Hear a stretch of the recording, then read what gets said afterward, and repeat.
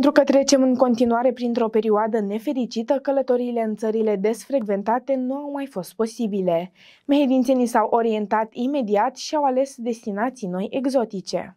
După un an în care turismul a fost pus la pământ, singurele oferte care merg din ce în ce mai bine sunt destinațiile exotice. Mehedințenii dornici să călătorească au ales la începutul acestui an zone izolate, care le dau senzația de siguranță în fața bolii, așa că agențiile de turism s-au adaptat. Destinațiile au fost alese în funcție de gradul de pandemic uh, din uh, Europa și din lume. Am avut Zanzibar, am avut Maldive, dar uh, asta a fost în în contrabalansarea ceea ce nu putea să găsească mai aproape, adică dacă n-am avut Turcia, dacă n-am avut Egiptul care se vindea anul acesta sau în perioada respectivă, neavând uh, Austria, unde mergeau la schi, au ales niște vacanțe uh, exotice, puțin bani, mai mult decât ar fi dat într-o vacanță din Europa, dar au plecat în vacanță, pentru că suntem obișnuiți să ne facem vacanțele, suntem obișnuiți să ne relaxăm, suntem obișnuiți să avem o activitate așa recreativă în care în fiecare an